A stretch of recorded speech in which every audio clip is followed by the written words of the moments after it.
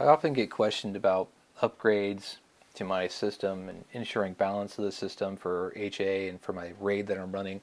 And then of course always, you know, I've done an upgrade, I know I've got capacity, but my CPG is full. Why does that happen? So in this tutorial, I'm just going to briefly discuss what happens in those particular cases or what could potentially happen, things to look out for, and hopefully give you some ideas of what to factor in when you start planning your upgrade. So in this illustration, I've got a two node 3PAR, and this two node 3PAR has three expansion shelves.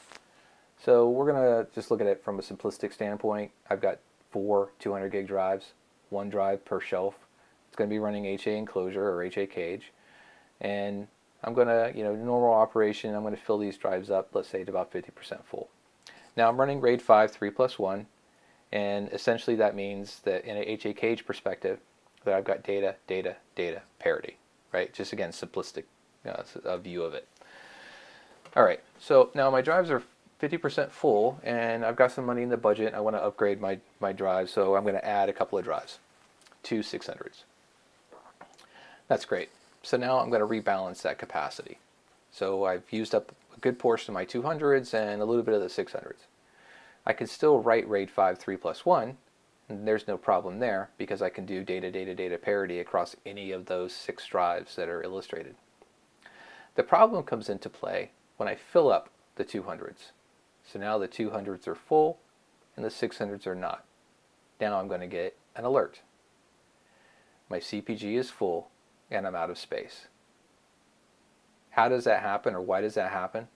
Well, it's because I can no longer write RAID 5 3 plus 1 across two drives and maintain the HA cage level that is specified in my CPG. So let's start over. I've got the same setup. I've got four drives. They're 50% full. I'm planning my upgrade, but then my partner says, you know, hey, look, let's make sure that we got full balance across all of my shelves and we can maintain that. So I'm going to add that third and fourth drive to the system. That's important because when I fill up those first four drives, I've got four drives left over that are only partially full. This would allow me to continue to write RAID 5 3 plus 1 because there's still space. I would not be writing my wide stripe into the 200s, just the 600s, but I'm still able to write the data. Let's kick this up a little bit. So now I've got a larger system.